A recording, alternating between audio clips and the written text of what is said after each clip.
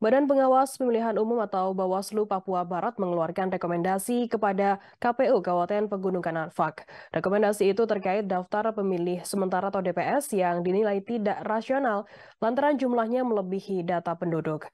Ketua Bawaslu Papua Barat Elias Idi menambahkan rekomendasi tersebut harus segera ditindaklanjuti oleh KPU Pegaf. Apabila tidak dapat diatasi, maka KPU Provinsi harus turun tangan mengatasi persoalan tersebut.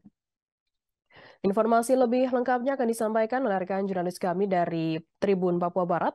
Ada Marvin Raubaba yang akan melaporkannya. Silakan rekan Marvin. Baik, uh, terima kasih rekan Firda dan Tribuners di mana saja Anda berada. Pada kemarin Kamis, tepatnya 13 April 2023, Badan Pengawas Pemilu atau KPU, KPU Papua Barat, menggelar rapat rekapitulasi dan plen, rapat pleno dan penetapan rekapitulasi daftar pemilih sementara tingkat provinsi di Papua Barat. Dari rapat tersebut, sebanyak 349.707 jiwa manusia uh, orang atau masyarakat Papua Barat terdaftar sebagai daftar pemilih sementara. Namun pada rapat tersebut juga uh, pihak KPU dan Bawaslu dan juga para tamu undangan yang hadir mengalami sedikit cekcok ataupun perdebatan di sela-sela rapat lantaran penyampaian daftar pemilih sementara atau DPS dari salah satu kabupaten yakni Kabupaten Pegunungan Arfak di Papua Barat meningkat signifikan dari jumlah seharusnya yakni total jumlah penduduk Kabupaten Pegunungan Pegunungan Arfak sendiri sejumlah 39.000 lebih orang. Sedangkan dalam penyampaian daftar pemilih sementara angka tersebut melambung tinggi menjadi 42 ribu lebih daftar pemilih.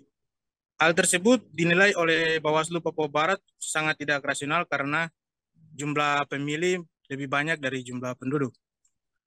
Sehingga dari sila-sila rapat tersebut, Bawaslu Papua Barat langsung mengeluarkan rekomendasi kepada KPU Papua Barat untuk segera menindaklanjuti dan membongkar semua data-data daftar pemilih sementara yang ada di Kabupaten Pegunungan Arfak yang dinilai sangat tidak rasional karena jumlahnya melebihi dari jumlah penduduk Kabupaten Pegunungan Arfak sendiri. Dalam rekomendasi tersebut, Bawaslu mengimbau agar uh, KPU Pegunungan Arfak segera menghitung kembali daftar pemilih sementara yang ada di Kabupaten Pegunungan Arfak. Jika pekerjaan tersebut tidak bisa dijalankan dengan baik, maka rekomendasi itu juga akan meneruskan kepada KPU Papua Barat untuk ambil alih pekerjaan tersebut. Sehingga tidak ada indikasi kecurangan ataupun hal-hal lain yang dapat mencederai pesta demokrasi di 2024 nanti. Ketua Bawaslu Papua Barat, Elias Iji juga menyampaikan bahwa pada periode sebelumnya terkait dengan data pemilih selalu menjadi masalah yang mana selalu dihadapi oleh Bawaslu Papua Barat dan juga KPU sendiri. Sehingga ia mengimbau agar persoalan-persoalan seperti begitu tidak lagi terjadi, mengingat di periode sebelumnya 2014 dan 2009, 2019 juga pernah terjadi hal serupa. Dalam rekomendasi itu Bawaslu juga langsung meminta kepada Ketua KPU Papua Barat sendiri beserta jajarannya untuk segera menindaklanjuti persoalan daftar pemilih sementara yang dinilai tidak rasional jumlahnya oleh Bawaslu Papua Barat, khususnya di KPU Kabupaten Pegunungan Arfak. Uh, demikian rekan Firda yang dapat disampaikan. Ya. Baik, terima kasih rekan Marvin dari Tribun Papua Barat atas laporan Anda. Selamat bertugas kembali. Dan Tribuners akan kami tampilkan berikut wawancara dari Ketua Bawaslu Papua Barat alias IJI. Berikut liputan untuk Anda ada semacam fakta yang menarik juga bahwa proses uh, proses TPS yang dilakukan oleh teman-teman PKP itu kan ternyata menunjukkan bahwa jumlah pemilih itu lebih banyak dari jumlah penduduk.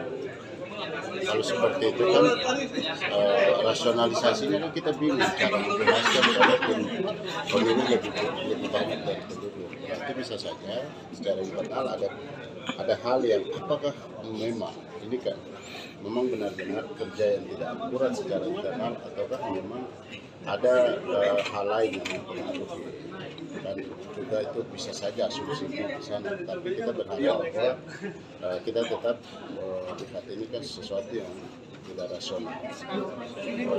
Lalu kemudian bagaimana kita harus menindaklanjuti supaya proses ini harus ada perbaikan khusus untuk pegang. Maka yang harus dilakukan adalah KPU provinsi sesegera mungkin harus melakukan atensi ya. Jadi data pegangnya harus dibongkar. Menurut saya harus dibongkar. Bongkar dalam arti memastikan bahwa ternyata ada yang tidak masuk akal. Misal pemilih jauh lebih besar. Nanti ada prosedur yang kemudian ataukah ya tinggal. Terima kasih sudah nonton. Jangan lupa like, subscribe, dan share ya.